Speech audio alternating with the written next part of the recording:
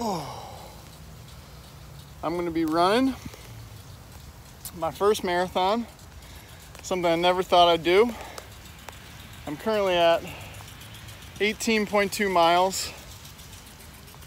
Three more, get to 21, which will be my longest run. I'm sitting underneath a tree that's just getting sprayed by this nice sprinkler because I feel like I'm gonna fall apart. I'm running for the Eisenberg Foundation.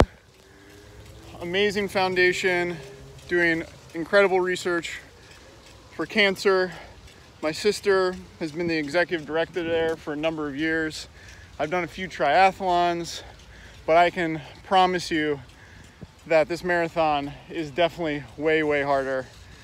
So that means we got to fundraise that much more for this organization for hitting the streets, my hitting the streets crew, Ross and Barber, running this race with me. Thanks for the support. I guess I need to get moving. If I stay any longer, I ain't gonna finish this run. All right, one more sprinkler shot.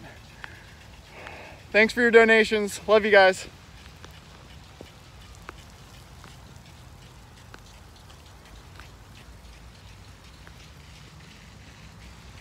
Can't hit the pause button because my fingers are wet.